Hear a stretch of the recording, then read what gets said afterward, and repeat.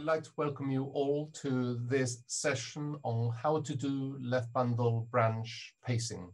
Uh, it is a pleasure for me to welcome uh, Dr. Paul Foley, uh, who is a very experienced uh, implanter in both CRT and emergent uh, conducting tissue um, uh, pacing.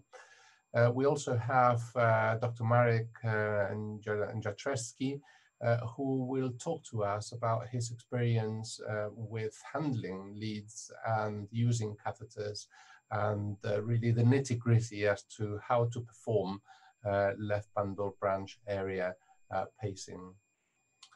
So I would like to welcome Paul to uh, give us an overview of conducting, conduction system pacing. Thank you. Thank you, Paco, and uh, it's a great honour to give this talk. And thank you for the welcome. So I'm talking about perspectives on conduction system pacing, by which obviously we refer to His bundle and left conducting system pacing. And there are obviously three main indications for pacing, uh, bradycardia, those patients with heart failure who need cardiac resynchronization devices, and patients who need defibrillators. And often those uh, indications uh, more than one indication is, is present in, in the patients. So where does physiological pacing come in? Uh, the first major indication where it could be considered is atrioventricular block. And patients with very pronounced first degree AV block may experience right ventricular pacing even in the face of algorithms designed to minimize it because the AV block is, is so prolonged. In patients with 2 to 1 and complete AV block, or those patients who've had an AV node ablation, these patients are expected to have a very high burden of right ventricular pacing, and we know that can be associated with pacing-induced cardiomyopathy. There's also a group of patients who've had left ventricular leads implanted, and these, uh, for whatever reason, aren't working. So that may be because they can't get their anatomical constraints. It may be the threshold is high, or another problem is obviously uh, phrenic nerve pacing. And so in this situation, physiological pacing can serve as sort of bailout strategy. And lastly, um, left ventricular and right ventricular pacing is well established in randomized clinical trials, but there are a number of studies comparing biventricular pacing with physiological pacing, suggesting similar outcomes in terms of left ventricle remodeling or possibly better remodeling and a narrow QRS. And this is an area of uh, active study but still, at present, the major guidelines would suggest for patients with heart failure in left bundle branch block, these patients should have CRT. So is right ventricular pacing a problem? Well, we talked about uh, uh, pacing-induced cardiomyopathy, which occurs in approximately 20% of patients. And this is a very nice study from Puga's group in the United States, where one hospital undertook normal right ventricular apical-based pacing, and the other hospital undertook His bundle pacing. And what they saw was a, reduction in the primary endpoint of heart death, heart failure hospitalization, or upgrading to biventricular pacing by around 30%. And in fact, if you looked at those patients receiving over 40% right ventricular uh, apical pacing, there was a significant reduction in the risk of heart failure hospitalization, which was even present if you looked at those patients receiving only 20%. Now, obviously, for patients, there are options in terms of uh, instead of right ventricular apical pacing, it will lead. So there's leadless pacing and cardiac resynchronization pacing. And, and the other question that arises is how much of a problem is, uh, how often do upgrades occur? And if we look at the ESC survey from 2019, about 30% of the patients undergoing CRT were actually upgrades from pre-existing right ventricular apical based system. And there's obviously a procedure time associated with that around 90 minutes approximately 6% of patients had complications, and the pace QRS uh, is actually reasonably broad at 137 milliseconds. So it may be that implanting a physiological based pacing system from the start would reduce the risk of the patient needing an upgrade to 500 pacing. Now, this sounds very attractive, but there are challenges. We know the procedure time tends to be longer with physiological based pacing. You need a certain level of implant equipment, often EP systems, although a, a patient, patient analyzer can be used. There's the level of knowledge based on, so you need to understand the signals that are coming back, and particularly that's important uh, when the patient's being followed up. It's very important to select the correct device. So if you look at His bundle pacing, the His lead may be implanted into the atrial port, the right ventricular port, or the left ventricular port. And so the device uh, you select will be important, particularly because you need to avoid ventricular safety pacing for His bundle systems. His bundle pacing itself is associated with slightly higher thresholds, and that can have implications for the battery life. The R waves tend to be lower, typically around 2 millivolts. Uh, there's always the question about will the HV block distal to where the lead is implanted occur later on. You need to be absolutely certain that the patient's getting His capture and it's not septal pacing. And at follow-up, there are um, changes in, in the follow-up pattern. So remote follow-up isn't really an option for these patients, and that's uh, obviously an important consideration at the moment during COVID. Uh, auto capture does not work, and as we said, ventricular safety pacing uh, for His bundle systems isn't applicable. And the numbers of patients involved in the trials, about uh, 1,438 published cases, uh, largest series of 304, but no major randomized clinical trials. Left bundle branch pacing, which Marek is going to talk about shortly, uh, again, it's very important to get the correct position. It's slightly more attractive in terms of thresholds tend to be uh, a lot lower, so uh, analogous to right ventricular apical pacing, and the R wave sensing is normal uh, R wave. But there is the attendant risk of perforation, and the numbers of patients implanted in, in the case reports and case series is around 530, the largest series being so far 100. And again, no randomized clinical trials in, in this area. Now, we talked about the looking at signals. Uh, there is a level of precision uh, which uh, is required for physiological pacing, which is beyond that for right ventricular apical based pacing. So this is the first schematic on the left. You see the outputs on the y-axis and the four different positions where there are multiple different thresholds that can be obtained, and that's important during follow-up to be aware of what you're uh, what you're seeing and also at the time of implantation. Has done some uh, very impressive work on looking at program stimulation to confirm that you're in the His bundle rather than the myocardium. So there's fatigability when the His bundle is stimulated, but not seen when the myocardium is stimulated with extra stimuli. And there are various morphological features, which again is very important to be sure that the, um, the lead is in the correct position, because actually it can be quite hard to differentiate between non-selective His bundle capture and myocardial capture. So you're looking for a very steep um, uh, peak for non-selective capture rather than a, a, slight plateau with myocardial capture. The absence of a notch in V1 in the S wave and also the QRS duration should be narrow. So moving on to uh, left um, conducting system pacing, which Marek is going to talk about, again, the same position is required. So uh, this is a lead. So the lead in these schematics, one is in the left conducting system, the other is in the left ventricular septum. And you can see the QRS morphology is very similar and the um, uh, QRS duration is, is the same. But when high fidelity mapping is undertaken, in the patients where the non-selective left conducting system is stimulated, the Purkinje activation is prior to the QRS, and that's shown the red arrows. Whereas when it's the um, lead is in the left ventricular septum, stimulating left conducting system, the Purkinje fibers are within the QRS onset. And the left ventricular activation time is shorter if you're in the left conducting system rather than the left ventricular septum. And this is just to say that there is a level of complexity uh, to physiological pacing, which is greater than that with standard right ventricular pacing. So thank you very much. Thank you, Paul. That's a very nice overview. Uh, this is clearly very exciting from the uh, scientific point of view. Uh, it's very early days, but, but it is really very encouraging and, and, opens up a whole lot of new questions, I think, as well. I think from the clinical point of view, um, there is a great excitement as to uh, whether this is superior to right ventricular pacing. I agree with you that there is some data out there to show that right ventricular pacing is detrimental. Um, but I, I, do wonder whether this is due uh, to an underlying cardiomyopathy.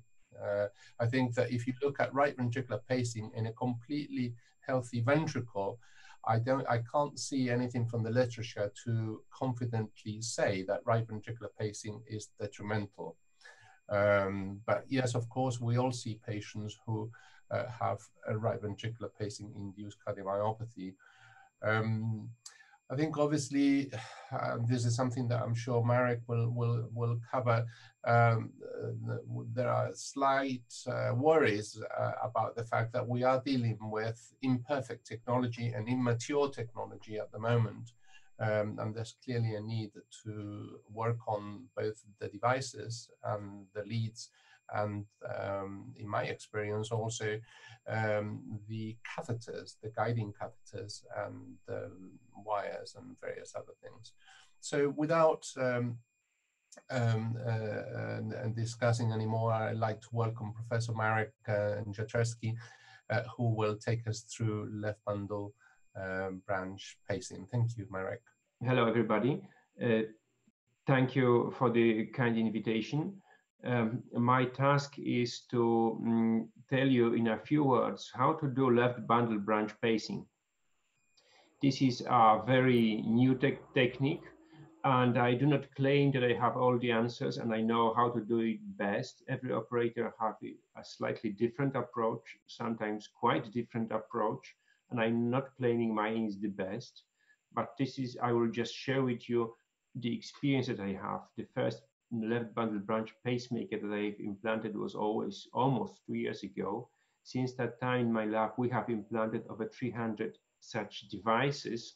So that gives me certain room um, uh, where I can move uh, the experience that I have that I can share with you. And because of the time frame, I have decided to break down this complex procedure into four simple steps. So um, uh, Okay, these are my moderate disclosures and let's move to the to, to these four steps. So I think the whole procedure uh, rests on four pillars. First, you need to identify the target area on the mid septum. You need to know how to get there and where it is. Then you need to learn how to screw the lead. It is very important. It's not a simple task like you have with active fixation lead where you just do a few rotation and, and that's it. You need to know how to interpret responses to a lead rotation because that's crucial to success. We'll talk about that. Then you need to monitor the lead depth during screwing to prevent overscrewing because if you go too deep, you will end in the left ventricle and that's something we don't want to. So that's a, again a very important step of the procedure. And then the final step that been uh, very important for me from the scientific point of view because we published a lot about that is to how to confirm that the acute endpoint of the procedure was actually achieved. Uh, how to confirm left bundle branch capture because it's not like just RV procedure. You implant, you have a capture, and that's it. No, you need to confirm that you capture the structure that you are interested in, this conduction system. Okay, so let's go to the uh, uh, step one, uh, the target area, where it is. So the target area is on the septum and uh, it's close to the His bundle area marked with the red dot. It's close to the tricuspid annulus uh, marked with this yellow line. It's pretty vast area. Actually, the area that I marked is perhaps bigger than most operators would agree. The best part is close to the His, one, two centimeters from the His, that's the proximal left bundle. But sometimes it's more difficult to get there than to the other parts of the arborization of left bundle, and I do not hesitate to use those areas.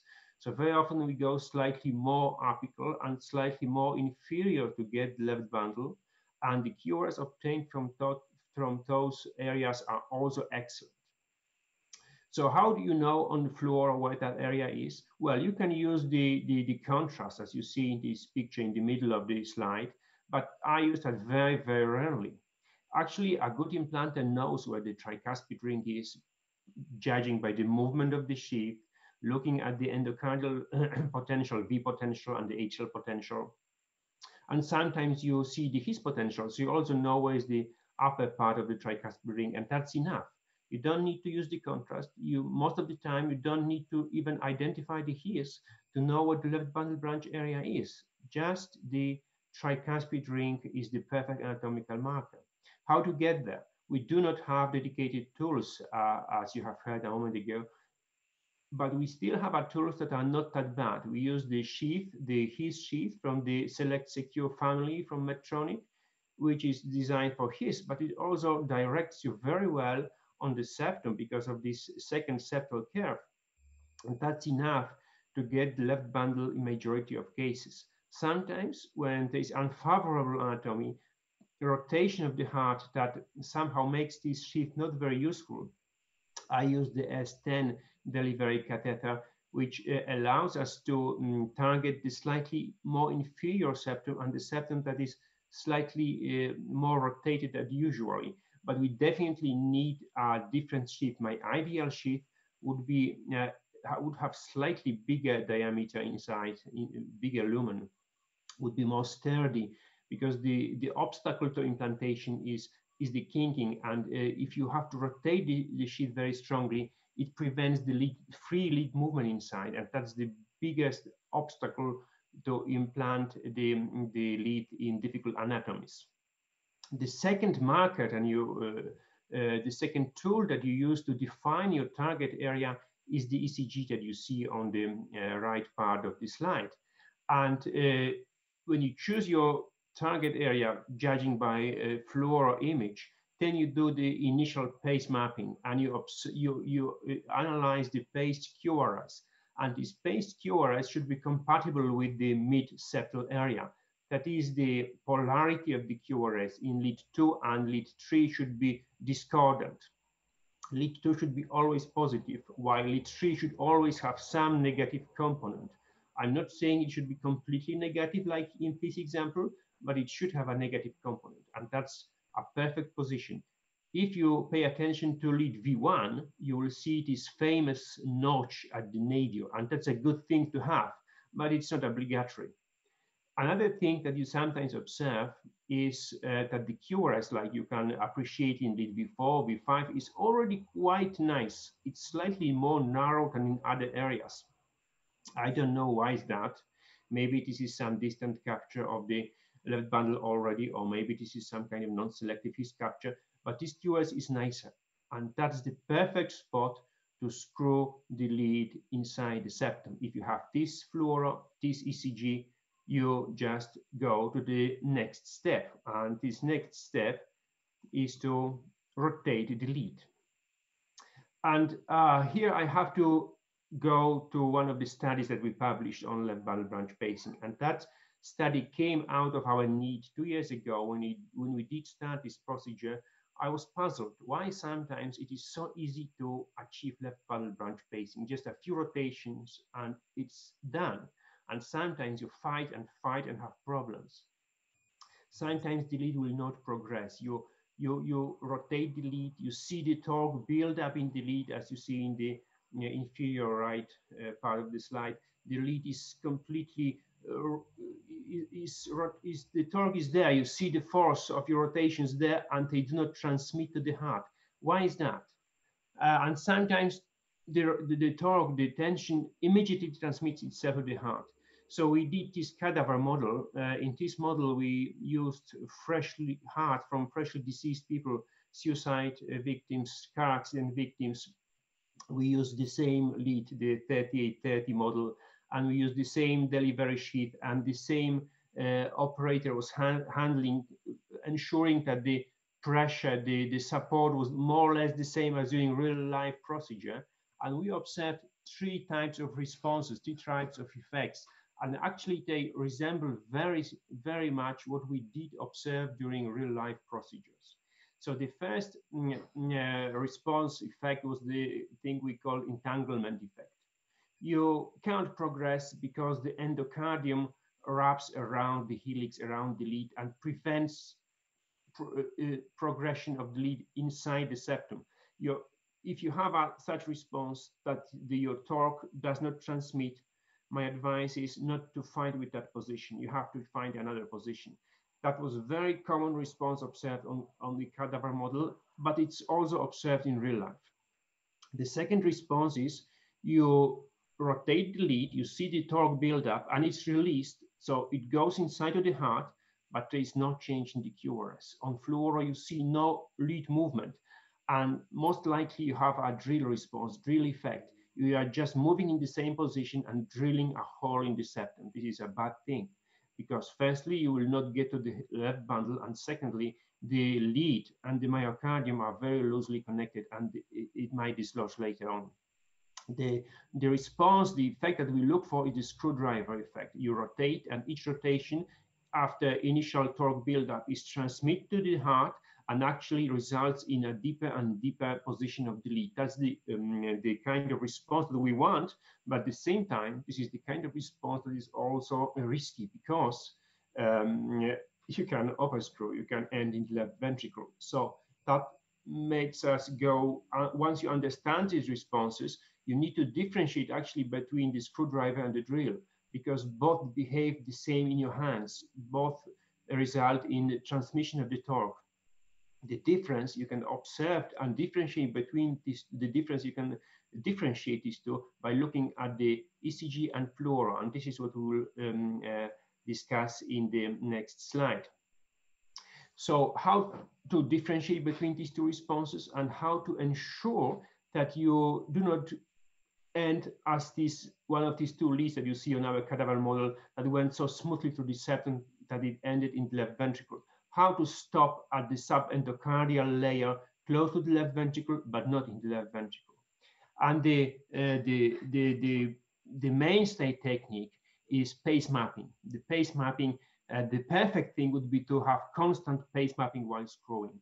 Uh, for this, we need some kind of revolving adapter that you could connect the external pacemaker with the distal pin of the lead. Unfortunately, with the, the manufacturers, the industry still does not produce a thing like that.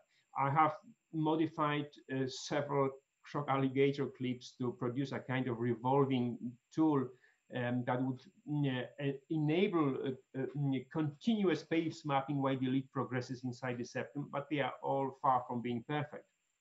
So I rely mainly on interrupted pacing. But here, uh, this ECG was taken from a patient where continuous pacing was done while the lead progresses.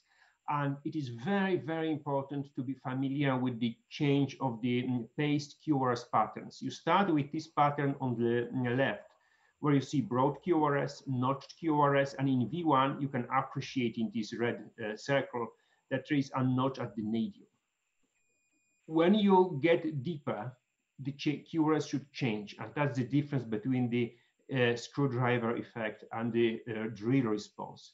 Because in the drill response, the QRS will not change. Here it changes. And you see that the, the notch in V1 disappears. The QRS becomes slightly more spiky, slightly more smooth. You add one or two more rotations, and then you see that the QRS is very spiky, and at the end of the QRS in V1, slight R prime appears. If you add still few more rotations, you will observe that the big R um, at the end of the QRS is present and you have full-blown right bundle branch block pattern in V1. And that's the QRS that you like. And this is the moment you stop. Once you have a QRS that is compatible with left bundle branch capture, that is nice, it's um, smooth, it's narrow, that's the way uh, to know that you should stop. And that still is the mainstay technique to, to prevent overscrewing. You either do it continuously or more commonly uh, in an interrupted fashion. After a few rotations, you check the QRS, you add more rotations or not. That's the best thing uh, that we have. And some people will tell you that the monitoring impedance is important. I never did that. 300 cases, no monitoring of impedance, and it works. So I don't think that's really necessary. Paced QRS morphology is the best. However, right now I rely a little bit more on the thing that you see here. I call um, these screw beats of um, uh, when you go with the lead deep inside the septum, you irritate the tissues, and this irritation causes premature complexes. Uh, and if you look at them, for example, this is a classical example of a shower of premature beats from the septum you will see that in this patient with left bundle branch QRS, suddenly a QRS appears with R at the end of the QRS in V1. These are gross, and in the middle you see a QRS that is completely right bundle branch morphology, which is exactly the indication that you want to have that your lead tip, the helix, is irritating the subendocardial layer on the left side. And that's the perfect indication that you should stop tearing. That's the only actually tool that I very often use right now. You do rotations, you observe, you look for screw beats. If you have them, you don't need to have anything more because if, when you start pace mapping at that moment, you will have a QRS morphology which will be identical to your last screw beat. And that's the information that if you don't have them, you need to add more screws. If you have them, you need to stop to prevent overscrewing, to, you, to prevent uh, perforation. So the screw beats are the way to go for me right now, and interrupted or continuous pace mapping is another uh, uh, way to prevent um, overscrewing. And uh, of course, you have other tools, the fluoro and the endocardial signal from the pacing lead to prevent um, uh, going too deep. Especially LAO is very, very useful. On LAO, you directly see the progression of the lead. And if you are not sure if you have a, a screwdriver response or um, drill response from your lead, uh, LAO will tell you the truth because in the drill response, there is no movement of the lead to the left, while in the screwdriver, each rotation will move slightly the lead tip to the left. So LAO is 30 is obligatory during implantation, especially in difficult cases when you do not get the left bundle during your first attempt. Another thing is to look for the left bundle uh, potential on the lead, because if it's there, it's again a proof that you are in the subendocardial layer because that's the only area where you can record it. So you, when you have left bundle potential or Purkinje potential, that's again an indicator to stop, absolutely stop uh, screwing because if you do not, if you will go to look for a nicer potential, your chances of perforation are skyrocketing.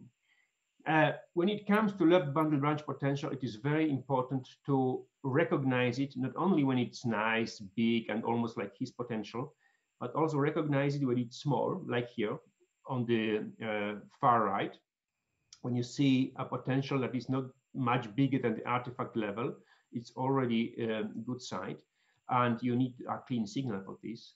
Very often the potential, even when it's big, is completely buried with the v, in the V potential, as you see in the middle example, uh, this is because there is a current of injury, and the current of injury somehow merges the mm, left bundle potential and the ventricular potential into one complex. You need to uh, be able to see the potential inside.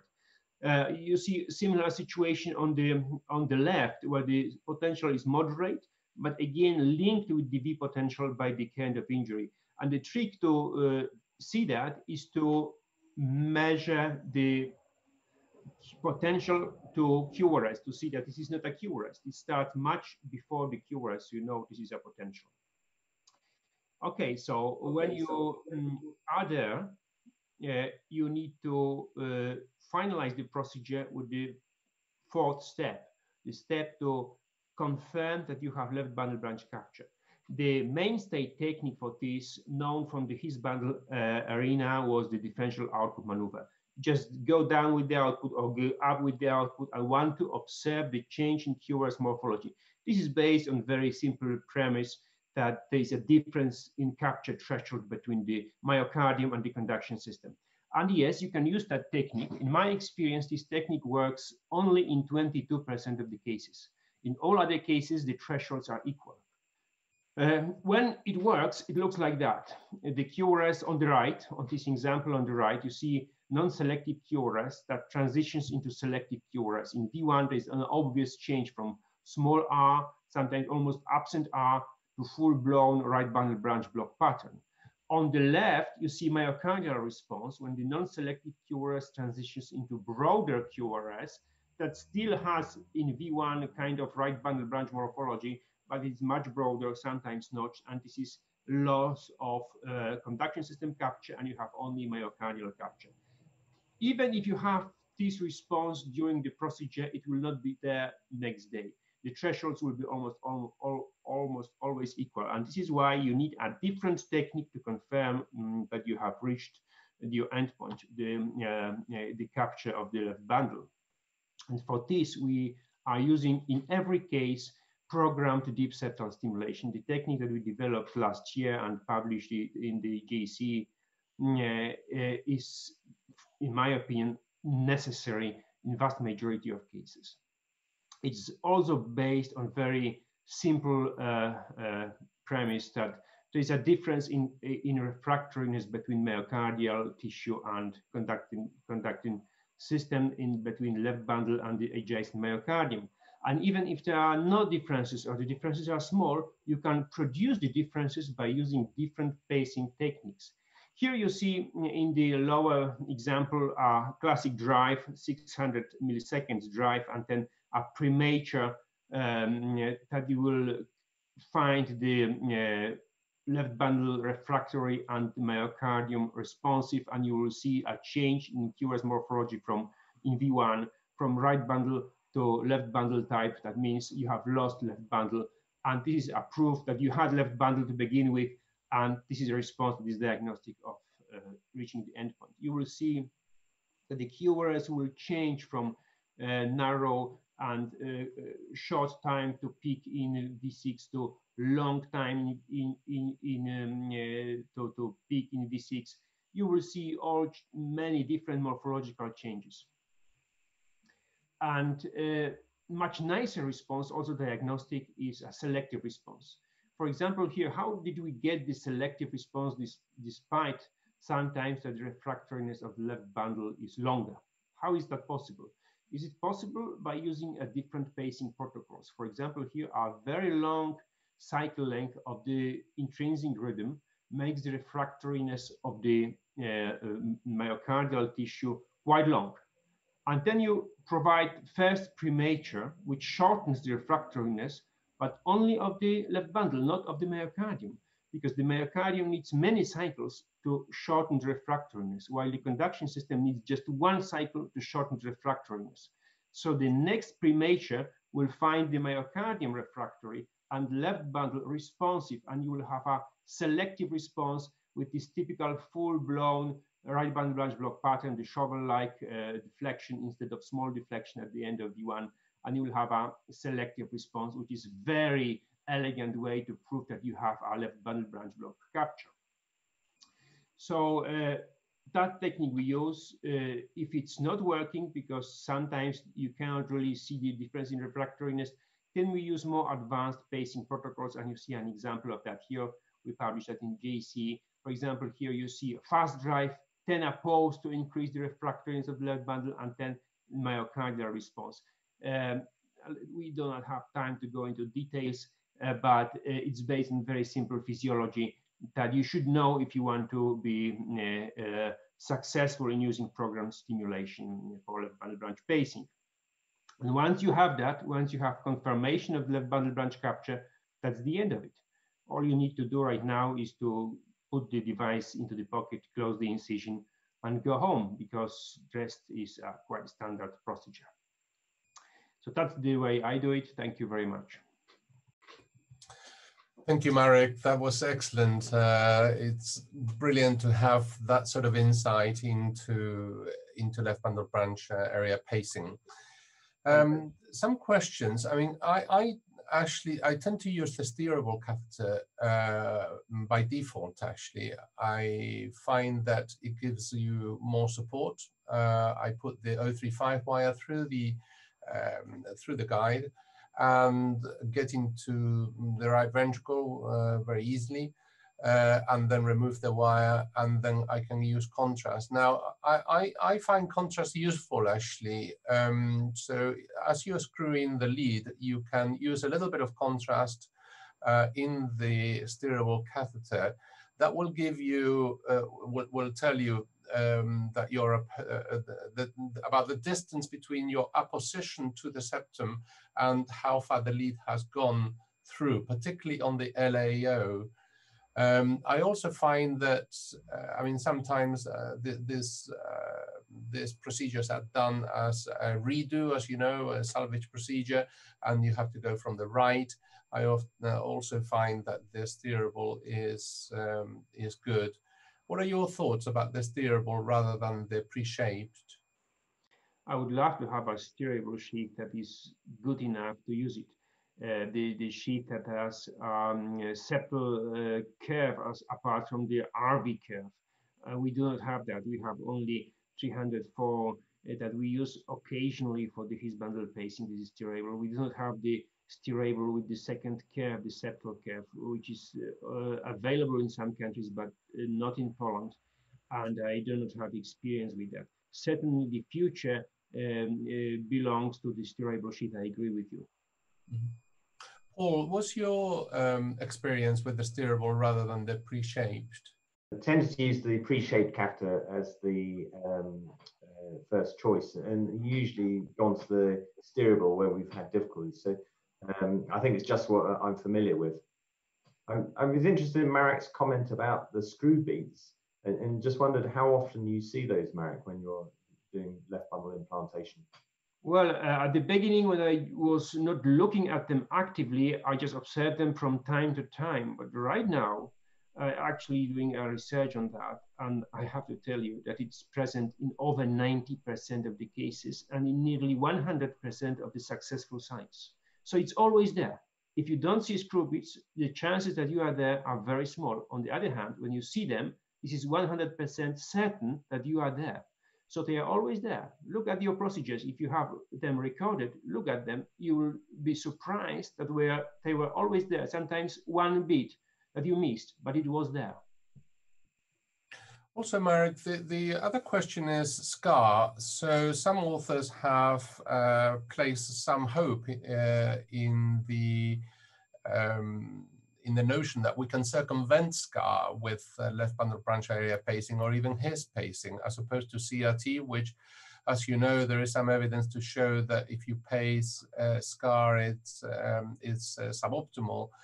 But actually, uh, pacing a septal scar, which is very common, particularly in patients who have had a NLAD infarct, um, it, it's, uh, it's likely to be also uh, a problem. Uh, do you have any views about SCAR in relation to uh, positions uh, or the screwing or the stability? I'm uh, not sure what causes the entanglement effect, why sometimes you can't really progress with the lead. And I think that apart from some kind of, I don't know, panzer endocardium, the scar might be the answer if you have a very fibrous scar, scar on the septum, you may not be able to progress with the lead. And then you need to go slightly deeper to find the area, or you can go deep into the septum. Do not find with a very dense scar. But if you go into the scar, and I think I did that a few times, then you might be surprised that the QRS is very ugly. You are on the left side, and you are not happy with the QRS because there is simply no uh, alive conducting tissue and you are capturing some a few myofibers that are there but the QRS is poor and if you go further down the road you will have a nicer QRS actually mm -hmm. that's the, the, my observation in you know, these few cases where I did this so Marek uh, with uh, Brady pacing uh, how how uh, how are you um, dealing with this? Are you putting a, an RV leading as well, or two leads, or are you just leaving the the, the uh, left bundle lead? Well, I, my lab completely converted to conduction system pacing. We do not do RV pacing for any indication apart as a bailout for if everything else fails. So we start with the his. We don't play with it too long. If it's not there, we just go for the left bundle and finish the procedure. And all procedures, regardless of the indication, is it CRT, heart failure, or just sick sinus or AV block, will receive a conduction system pacing. Even the youngest residents uh, who did, that did start this year pacemaker implantation, they do not learn the classic technique. They only do conduction system pacing. It can be done by inexperienced operators. It's a technique that is quite easy, actually. Mm -hmm. So no RV, pay, no RV leads to answer your question. No. No. Art leads classic. No. And Paul, what's your practice? Uh, currently, we are doing a fair amount of HIS bundle pacing uh, for um, patients with first degree AV block or, or narrow QRS um, complete heart block. Uh, but we're still, I, I, guess, waiting for randomized clinical trials to be absolutely certain that um, we, it is the right thing to do for every patient. And you're worried about uh, pacemaker dependency in these patients? In the patients who are having HIS bundle system, uh, I mean, that, that is a potential problem. We always check that we have one-to-one -one conduction uh, when we um, uh, when we pace at high outputs, uh, high sorry, at um, high rates, um, and we check the HV interval.